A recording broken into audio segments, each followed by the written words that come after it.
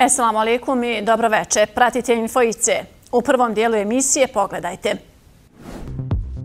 1,7 miliona konvertibilnih maraka za poticaje poljoprivrednim proizvođačima na području Zeničko-Dobojskog kantona. Gradovima i općinama, mjesnim zajednicama i udruženjima iz Zedo kantona za projekte turističke infrastrukture 514.000 konvertibilnih maraka. Ozvaničen završetak radova na izgradnji vodovoda u mjesnoj zajednici Gornja Ričica u naselju Škomlići. U toku završni radovi na izgradnji dva školska poligona u Kaknju. Javna ustanova Centar za socijalni rad Kakanja aplicirala na dva javna poziva Federalnog ministarstva za rad i socijalnu politiku. Vlada Zeničko-Dobojskog kantona je na posljednjoj sjednici izdvojila 1,7 miliona konvertibilnih maraka za poticaje poljoprivrednim proizvođačima, te na predlog Ministarstva za privredu opredijelila 48.000 konvertibilnih maraka za učešće na predstojećim sajmovima. Donesena je i odluka o restrukturiranju troškova za kantonalnu bolnicu Zenica. Vlada Zeničko-Dobojskog kantona je izdvojila oko 1.700.000 konvertibilnih maraka za poticaje poljoprivrednim proizvođačima, a podrška će ovog puta biti isplaćena pčelarima, uzgajivačima goveda i svinja, proizvođačima gljiva i jagodičastog voća. Na sjednici je donesena i odluka o restrukturiranju troškova za kantonalnu bolnicu Zenica. Ono što je važno istaći da smo donijeli odluku oko E, kantonalne bolnice Zenca o restrukturiranju troškova iz razloga što smo e, sredstva preusmjerili na nabavku značajne opreme koja će biti značajna za rad kantonalne bolnice Zenca u iznosu od 9,2 miliona konvertibilnih maraka, što govori u prilog tome da, pored toga što smo se opredijelili da ćemo raditi infrastrukturu unutar kantonalne bolnice, da ćemo svakako e, voditi računa o nabavku kvalitetne opreme koja treba biti na usluzi našim, našim dekarima. Vlada je na prijedlog Ministarstva za privredu opredijelila poticaj za učešće na sajmovima u iznosu od oko 48.000 konvertibilnih maraka. Nakon provedenog drugog ovogodišnjeg javnog poziva za subvencioniranje učešća preduzeća na sajmovima, komisija je kao uredne prijave prihvatila 22 aplikacije. Velika je radost evo, e, naših e, e, privrednika, velika je radost naših građana što imamo priliku da ponovo ZEPS okiti Zencu. Eh, stalno ponavljamo da je eh, Zeničko-Dobojski kanton stup razvoja i kišma privede naše domovine Bosne i Hercegovine. Mi ćemo spotruditi da tu sliku iz eh, Zeničko-Dobojskog kantona pošaljemo, pozivam sve građane da u skladu sa velikim dolaskom stranih izlagača, da svi pokažemo naše gostoprimstvo. Naglašeno je da je vlada Zeničko-Dobojskog kantona za podršku organizaciji sajmova i učešće privrednih subjekata na drugim bosansko-hercegovačkim sajmovima i sajmovima u inostranstvu opredijelila rekordnih 500.000 konvertibilnih maraka. Ministar za privredu Zeničko-Dobojskog kantona Samir Šibonjić potpisao je ugovore o sufinansiranju projekata turističke infrastrukture i suprastrukture s predstavnicima općina i gradova, mjesnih zajednica i udruženja građana iz ovog kantona ukupne vrijednosti 514.000 konvertibilnih maraka. Jačanje turizma jedan je od prioriteta Ministarstva za privredu Zeničko-Dobojskog kantona. Korisnici su odabrani putem javnog poziva, a po prvi put pravo učešća su imala i udruženja građana. Mi smo svjesni da ogroman potencijal leži, privredni potencijal leži u turizmu. E, mi ćemo nastaviti dalje da jačamo. Ovaj put smo predijelili sredstva, znači e, naši gradovi, mjesne zajednice po prvi put udruženja građana, dobila sredstva od 514.000 e, e, ove godine, a mi ćemo se potruditi evo, da odmah početkom naredne godine objavimo nove javne pozive. Kao što vam je poznato, formirana je turistička zajednica Zeničko-Dobojskog kantona nakon 10 godina. Udruženje Čuvari Bosanske krune Bobovac Smjaković i Vareš apliciralo je s projektom izgradnje autokampa na poznatom izletištu Luke. Pored Bobovca planirano je da projekat bude realizovan ove jeseni.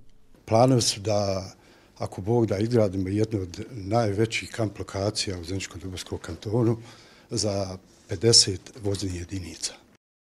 U Kraljevoj sutjesci na putu prema Kraljevskom gradu Bobovcu udruženi alternative će graditi izletište. Sredstva su dobila i dva planinarska društva, Planinarsko sportsko društvo Poštar Zenica i Planinarsko društvo Tajan 1929 Zavidovići. Poštar će graditi adrenalinski park i zipline na planini Hum kod planinarskog doma Jedinci. Naša lokacija gdje ćemo mi to sve izgraditi i svi dodatni sadržaj, ubiđeni smo i u buduću podršku vlade Zeničko-Dobovskog kantona i nadležnog ministarstva, jeste da to bude mjesto okupljanja porodica, sportista, ljubitelja prirode. Zeničko-Dobovski kanton obiluje prirodnim ljepotama, historijskim lokacijama i ovo je pravi put u kojem ide i Ministarstvo privrede i vlada Zeničko-Dobovskog kantona. Planinarsko društvo Tajan je prošle godine započelo izgradnju planinarskog doma Mašice u blizini istoimenog jezera, a gradnju objekta će nastaviti uz podršku Ministarstva za privredu. Ove godine planiramo svojim sredstvima da uradimo sprat i vjerovatno možda i do krova. Vrlo sam, što kaže, zahvalan predsjednik, odnosno ministru Šiboniću koji je prepoznao ove godine i dosadašnji to nije bila praksa da se prepoznaje turističke aktivnosti, odnosno potencijali turističkih u Zjedovo kantonu i nešto se sad posljedno dešava u tome pravcu i evo vidim danas po ovome skupu da nas je jako puno se odazvalo, jako puno projekata je prošlo Ugovori su potpisani sa 11 udruženja građana, gradovima Zavidović i Visoko, općinama Olovo, Kakanj, Maglaj i Dobojug, te mjesnim zajednicama Novi Šeher, Maglaj, Gostović i Branjoci grada Zavidovići te Bobare, Drinčići, Blaževci i Raduša Tešanj. U mjesnoj zajednici Gornja Ričica u naselju Škomlić je odzvaničan je završetak radova na izgradnji vodovoda. Projekat je realizovan u nekoliko faza, a radovi su finansirani iz sredstava vodnih naknada Zeničko-Dobojskog kantona. Nakon nekoliko faza projekat vodosnabdijevanja zaseoka Škomlići u mjesnoj zajednici Gornja Ričica uspješno je završen. Vrijednost projekta je oko 350.000 konvertibilnih maraka, a finansiranje kroz program utroška sredstava vodnih naknada Ministarstva za poljoprivredu, šumarstvo i vodoprivredu Zeničko-Dobojskog kantona. Projekat je od velikog značaja za mještane ovog naseljenog mjesta, obzirom da su Škomlići bili jedini zaseok u mjesnoj lokalnoj zajednici Gornja Ričica, koji do sada nije bio spojen na gradsku vodovodnu mrežu. Započet su radovi e, 2022. godine u desetom mjesecu. Evo, otprilike nepunih dvije godine doveli smo do kraja i ovdje je sad trenutno na snazi priključavanje ljudi, odnosno mještana, potrošača vode. Ekipe iz vodokoma već dolaze, tenčke prijeme vrše, radi, tako da je znači pri kraju u stvari sam kraj projekta koji je finansiran, opet da kažem, iz sredstava vodnih naknada. Kad smo išli u, u, u projekat, prvobitno se je prijavilo oko 30 domaćinstava koji su voljni da se priključi. Ima tu i vikendaša, ima tu ljudi koji nisu trenutno tu, ali hoće da se priključi. Uglavnom, tek je to počelo i oko 20 ljudi se već prijavilo, tako da već tehnička služba iz vodokoma to radi i evidentira kažu, kazuju upute ljudima koji su šta da rade i kako da priključe tu vodu.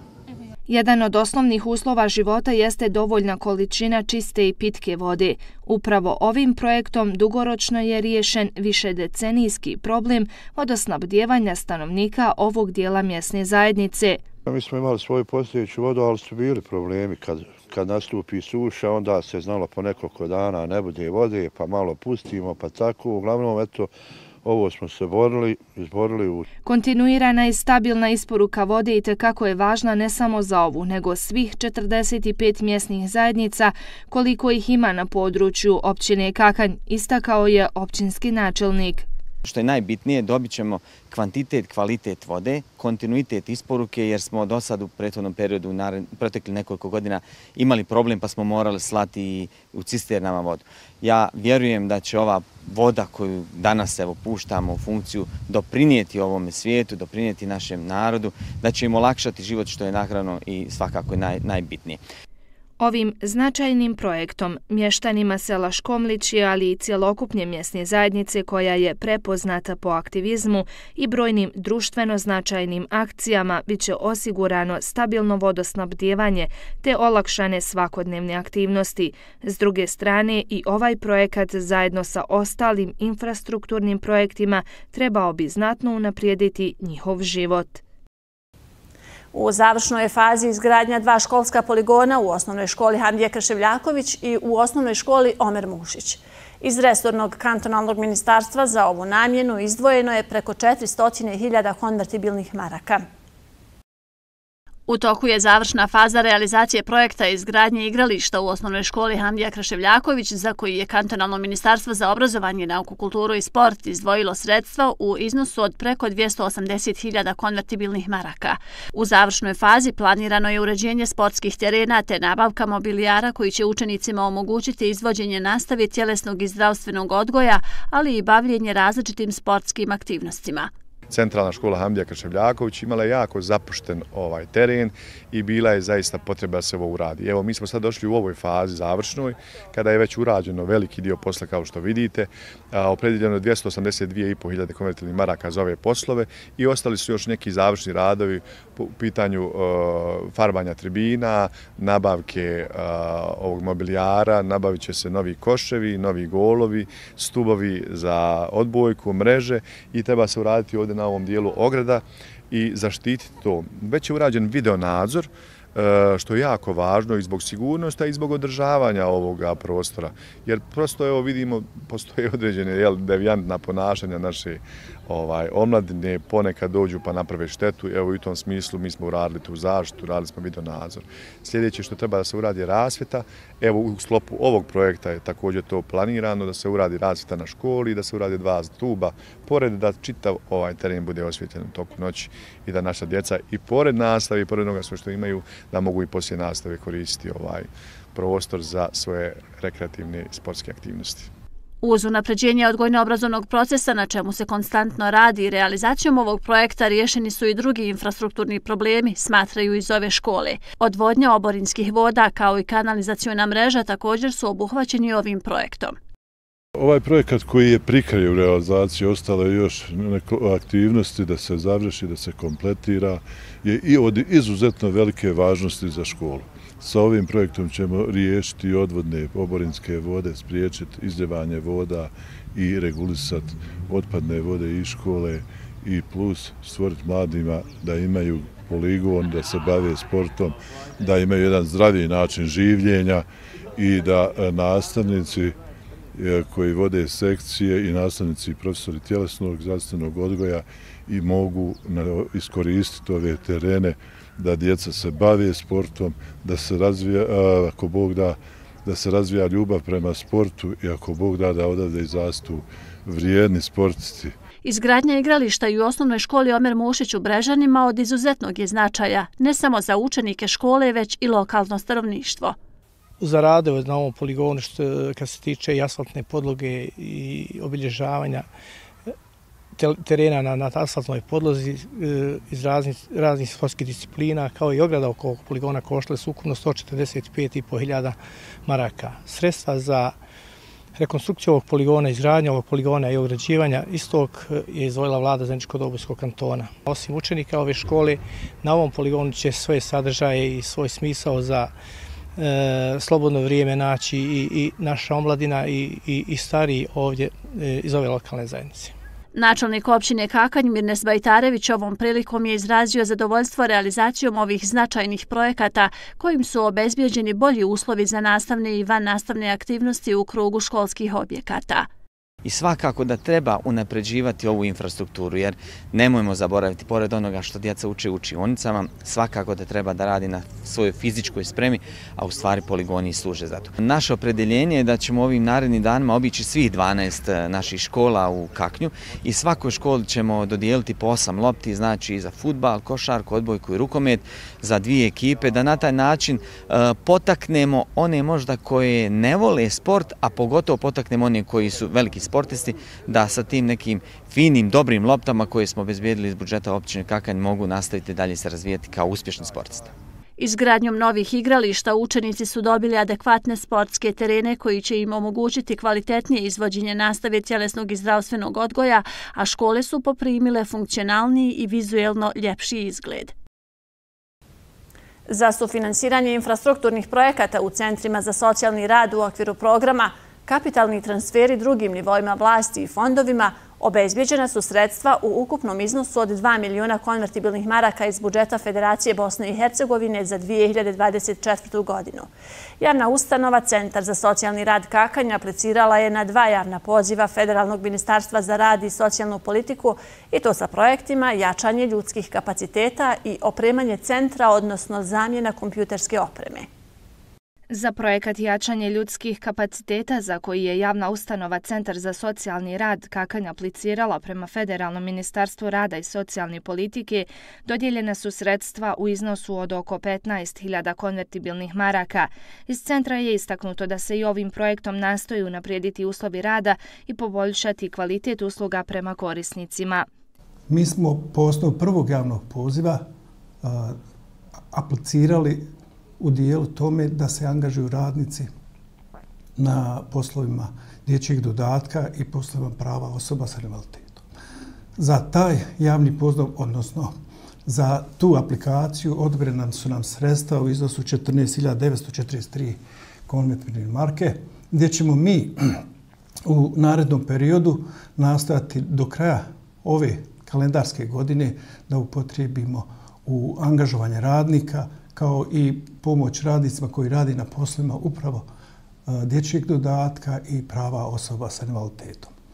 U okviru drugog projekta koji je odobren Kakanskom centru za socijalni rad, planirana je zamjena informatičke opreme za sve uposlenike. Drugi javni poziv se odnosio na pomoć centrima za socijalni rad u infrastrukturi. Mi smo tu aplicirali sa projektom nabavke kancelarijske opreme. Konkretno, naš projekat je glasio za opremanje kompjuterske opreme svim radnicima i na taj javni poziv dobili smo sa tom našom aplikacijom sredstva u iznosu 14.746,56 konvertibilnih maraka.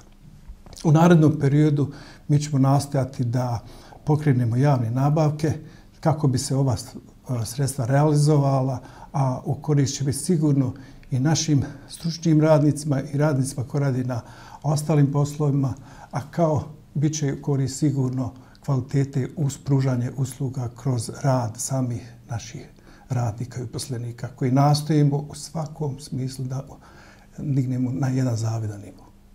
Ovakvim programima Federalno ministarstvo nastavlja aktivno raditi na poboljšanju uslova rada i kvaliteta usluga koje pružaju Centri za socijalni rad i druge ustanove socijalne zaštite, a sve s ciljem stvaranja boljih uslova za korisnike socijalnih usluga na području Federacije BiH.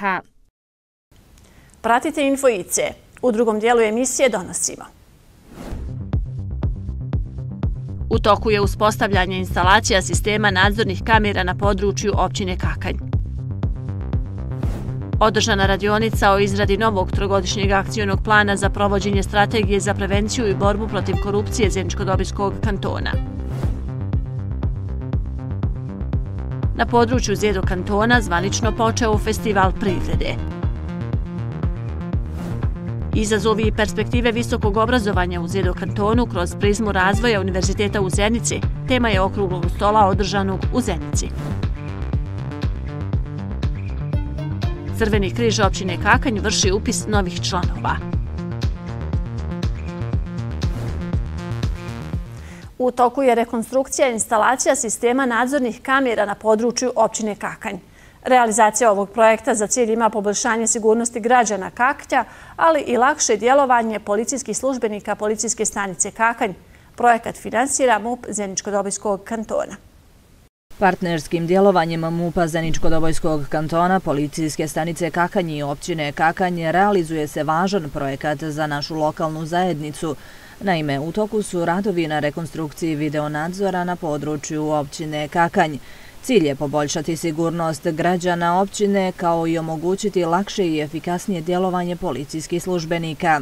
To ovaj, svakako ima višeski značaj ovaj, kako za nas policijske službenike, tako naravno i za građane, naše, naše ovaj, građane. Jel?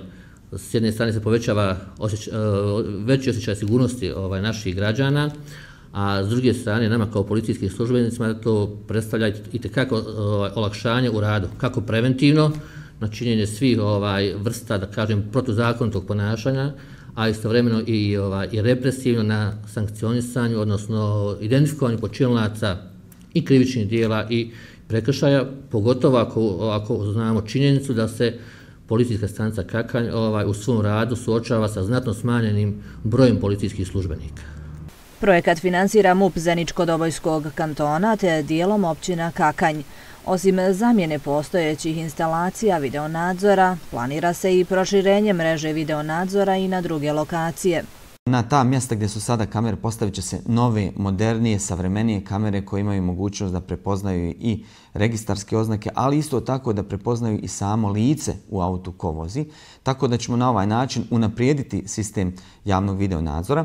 Naravno, nastojat ćemo da ona mjesta gdje imamo problem sa kamerama, da kamere zamijenimo i u narednom periodu možemo planirati nabavku dodatne opreme kako bismo sve izlaze iz kaknja i ona mjesta gdje možda optika neće moći da dođe kako bi pokrili i, i na taj način. Vjerovatno je da ćemo samu Kraljevu Sutjesku gdje ima video nadzor morati tretirati kao zaseban sistem obzirom da na ovaj način ne možemo provesti optičku mrežu do Kraljeve Sutjeske i ona će biti vjerovatno neki interni sistem koji će biti ponovno na raspolaganju policiji. Kako je najavljeno radovi na realizaciji ovog projekta, bit će završeni u narednih nekoliko dana. Za građane Kaknja poručuju iz policijske stanice i općine Kakanj. Ovaj će projekat imati više struke benefite u smislu povećanja stepena sigurnosti na području naše općine.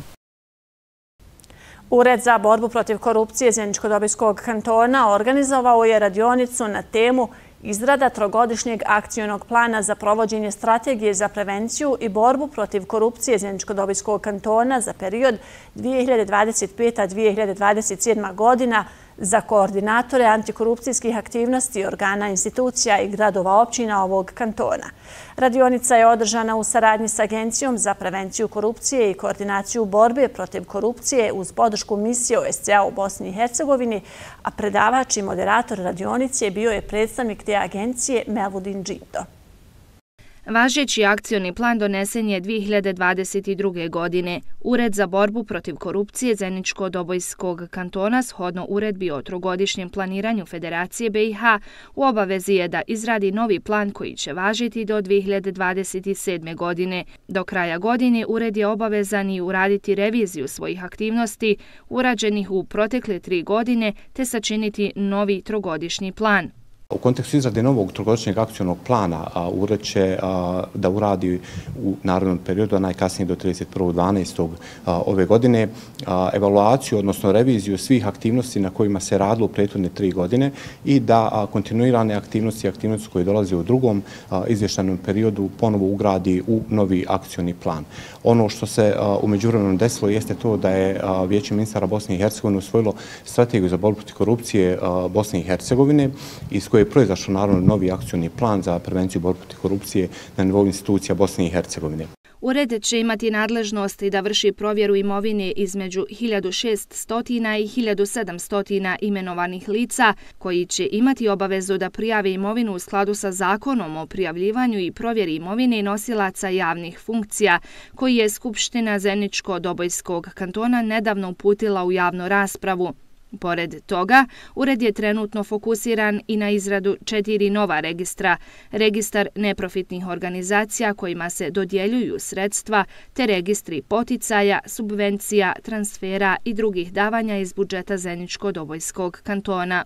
Ured trenutno radi na izradi i registara koji proizilaze iz tog zakona, s tim da se ti registri neće objavljivati naravno dok zakon ne skupština ne usvoju predlogu i dok zakon ne bude zanično stupio na snagu. A nakon toga Ured će pored tog alata koji ćemo imati gdje ćemo možda objavimo imovinu nosilaca javnih funkcija, Ured ima obavezu i nadležnost prema kako je to sad u nacrtu, vjerujem da neće biti izmjena u prijedlogu zakona, imati nadležnost da uradi provjeru imovine koja je dostavljena od strane imenovanih lica. U tom kontekstu mi očekujemo da će ured prema našim prvim izračunima imati otprilike između 1600 i 1700 lica koja će biti u obavezi da prijave tu imovinu. S tim u vezi, alati koji se koriste zapravo za sve antikoruptivne aktivnosti i borbu protiv korupcije jesu upravo ti registri na kojima mi trenutno radimo. Ovo smo nekako mi nazvali godinom registara, s obzirom da smo već uspostavili ranije dva registra, registra zaposlenih i registra imenovanih lica.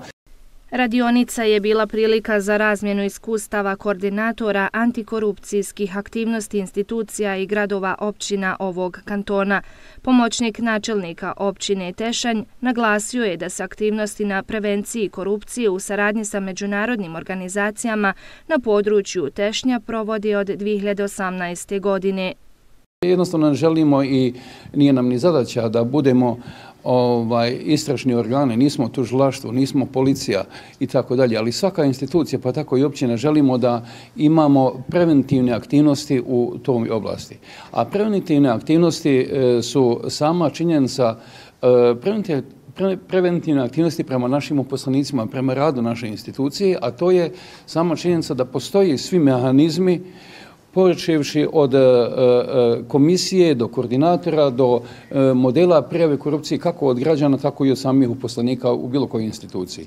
Poduzeti preventivne mjere kako bi se spriječili svi oblici korupcije, podržati i zakonski unaprijediti ovu oblast te sinergijski djelovati u borbi protiv korupcije su stvari na kojima se treba ozbiljnije raditi u svim lokalnim zajednicama Zeničko-Dobojskog kantona, poručeno je sa radionice. Početkom Tešanskog sajma privrede na području Zeničko-Dobojskog kantona zvanično je počeo i festival privrede koji će se završiti 5. oktobra, posljednjeg dana generalnog BH sajma ZEPS 2024. Cilj festivala na kojim će se predstaviti izlagači ne samo iz Bosne i Hercegovine nego i drugih zemalja je razvoj privrede našeg kantona Bosne i Hercegovine, ali i cijele regije. Sajmovi su idealna prilika za razmjenu iskustava kako sa domaćim, tako i stranim investitorima, stvaranje novih poslovnih prilika te unapriđenje privrednog razvoja. Predstavljaju važan element prodaje i plasmana proizvoda, ispitivanja tržišta i novih tehnologija te poređenja sa konkurencijom. To su mjesta susreta poslovnih ljudi i njihove interakcije, pri čemu se ostvaruje kontakt sa tržištem postojićim klijentima, ali i novim poslovnim partnerima. Podrška Ministarstva za privredu Zeničko-Dobojskog kantona firmama i izlagačima na sajmovima, među kojima se posebno izdvajaju Tešanski sajam i ZEPS, nije izostala. Mi stalno ponavljamo da je Zeničko-Dobojski kanton kičma i stub privrede Bosne i Hercegovine. Naravno da bi to pokazali, prikazali, najbolji način jesu naši sajmovi. Drago nam evo što od 25. E, septembra do 29. septembra imamo e, Tešanski sajam međunarodno 18. porede, postaje punoljetan.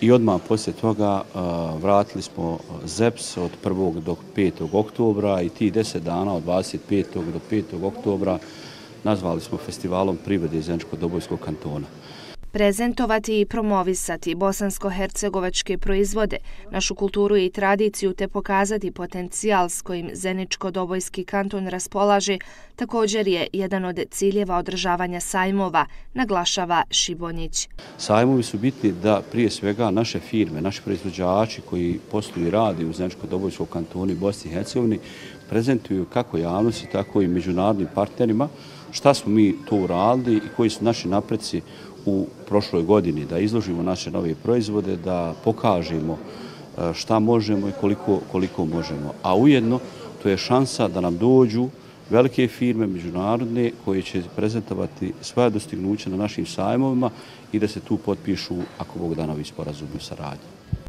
Ministarstvo za privredu je od samog početka uključeno u organizaciju ovogodišnjeg ZEPS-a, koje je uspjelo da obezbijedi da zemlja partner bude Republika Turska, koja na ZEPS dolazi sa vodećim firmama na čelu sa Istanbulskom privrednom komorom, te još dvije također značajne komore.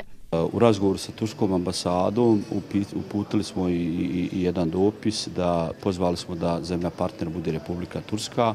Kasnije su oni to proslijedili Ministarstvo trgovine Republike Turske, a poslije toga smo evo krenuli u realizaciju i po prvi put je zemlja partner Turska i tu nam dolazi Istanbulska privredna komora sa preko 40 firmi.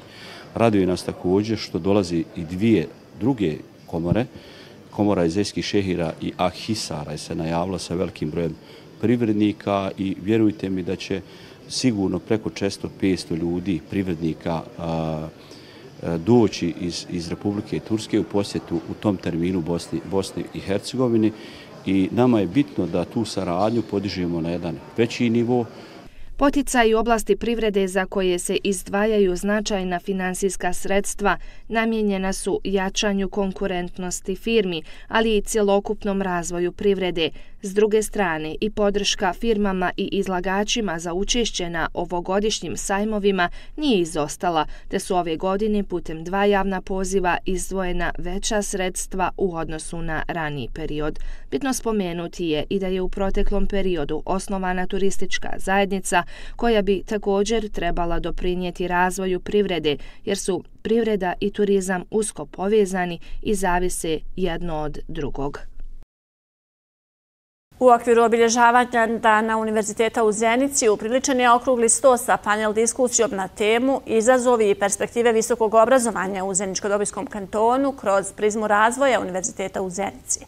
I ovog puta panelisti su naglasili da se visoko obrazovanje suočava sa brojnim izazovima i poteškoćama, te da se više pažnje u budućnosti treba posvetiti njegovom unapređenju. Na okruglom stolu kojim su prisustvovali predstavnici Univerziteta u Zenici i zaposlenici, ministar obrazovanja, nauke, kulture i sporta Zeničko-Dobojskog kantona, eminentni stručnjaci iz oblasti prava, predstavnici kompanija, općina i gradova, pedagoškog zavoda te brojni gosti razgovarano je o izazovima i perspektivama visokog obrazovanja u Zeničko-Dobojskom kantonu. I ovoga puta istaknuto je da se visoko obrazovanje nalazi u nezavidnom položaju. Odlazak mladih, smanjen broj studenta i neusklađenost studijskih programa sa tržištem rada samo su neki od izazova sa kojima se suočava visoko obrazovanje danas, ne samo u Zeničko-Dobojskom kantonu, nego i drugim kantonima, pa i šire, i za koje je potrebno pronaći adekvatne modalitete kako ih prevazići.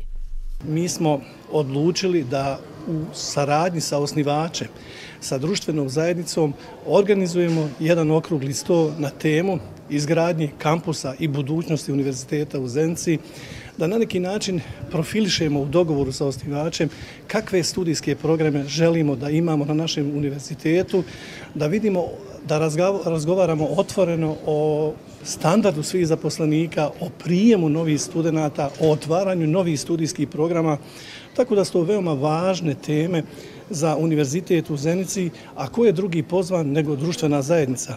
Resorni ministar je istakao da je neophodno napraviti detaljnu analizu trenutnog stanja na Univerzitetu u Zenici te sinergijski djelovati i pronaći sistemska rješenja kako bi se zaustavio trend odlaska mladih iz naše zemlje.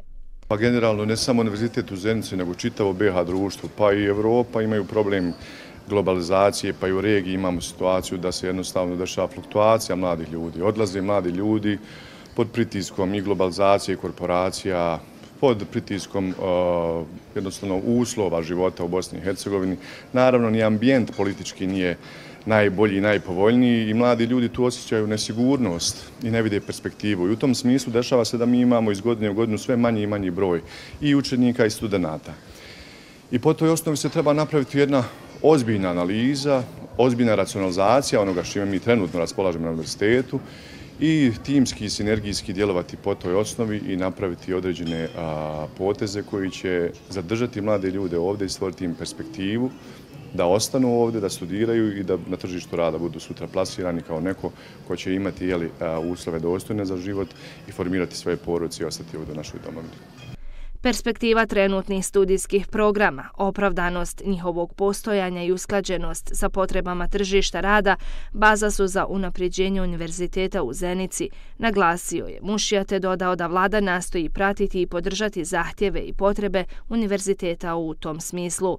Postoji znači, interesovanje za određene studijske programe veliko, I obično na tim fakultetima gdje je veliko interesovanje imamo problem, problem s prostorom.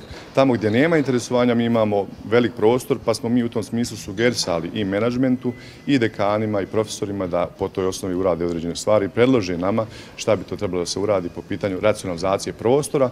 A kad su u pitanju investicije sami vlade Zemljsko-Dobojskog Antona, vi ste svjesni da smo mi u proteklom periodu uh, uložili milion i po na uh, pravni fakultet, ekonomski fakultet, gdje će se uh, do kraja godine po svim našim procenama završiti i amfiteatar i restoran za studente. Na taj način će im se popočeti uslovi i na taj način će se stvoriti dodatni prostor za nastavu. Izgradnja kampusa univerziteta, proširenje kapaciteta studentskog centra u Zenici, uvođenje novih studijskih programa, unapređenje kompletnog obrazovnog procesa na visokoškolskim ustanovama, sve su to stvari na kojima će se morati raditi u narednom periodu, poručeno je sa današnjeg okruglog stola organizovanog u okviru obilježavanja Dana univerziteta i 24 godine njegovog postojanja i rada. Aktivizam mladih u BH društvu je od izuzetnog značaja za razvoj šire društvene zajednice. Sekcija mladih Crvenog križa općine Hakanj vrši upis novih članova volontera. Upis se vrši subotom i nedjeljom na sastancima sekcije koja trenutno broji oko 40 članova. Sekcija mladih Crvenog križa općine Kakanje svake godine vrši upis novih članova volontera. Iz sekcije ovim putem pozivaju mlade uzrasta od 15 godina da im se pridruže kako bi naučili nešto novo te učestvovali u realizaciji različitih aktivnosti.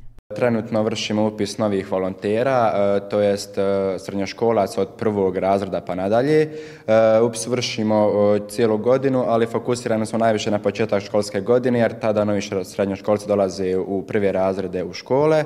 Trenutno planiramo sa novim članovima koji se pridruže da odradimo predavanja prve pomoći i da ih naučimo da pomognu sebi, a i ostalima. Sekcija mladih Kakanjskog crvenog križa učestvuje u većini aktivnosti koje organizuje Crveni križ. Trenutno broji oko 40 članova koji imaju priliku sticati različita znanja i iskustva te provoditi slobodno vrijeme u ugodnom druženju. Pored raznoraznih akcija koje imamo, također imamo i sekciju prve pomoći gdje vršimo edukacije kako naših članova, tako i šire. E, posebno mi je zanimljiva prva pomoć, to je nešto što me zanima i također sudila sam na općinskom takmičenju iz prve pomoći. Pored učešća u takmičenjima i edukacijama iz prve pomoći, mladi Crvenog križa učestvuju i u realizaciji humanitarnih akcija za socijalno ugrožene kategorije društva. Kako ističe Sanin Smolo za samo godinu dana koliko je član sekcije, mnogo toga je naučio. Naučio sam komunicirati sa ljudima, uh, otprilike tako nekako odnositi se. E, uh, do sad neko moje uh, lično iskustvo koje je bilo, izdvojio bih od svega možda e, kamp Federalnog crvenog križa na Boračkom jezeru ove godine. Stvarno fin doživljaj i svima bi preporučio da se učlane u crveni križ. Mladi Crvenog križa kakanje svoje djelovanje zasnivaju na principima Crvenog križa i pripadajućim vrijednostima, te na ličnom i društvenom nivou nastoje unaprijediti kvalitet života u lokalnoj zajednici. Toliko u ovom izdanju emisije Infoice. Hvala vam na pažnji i doviđenja.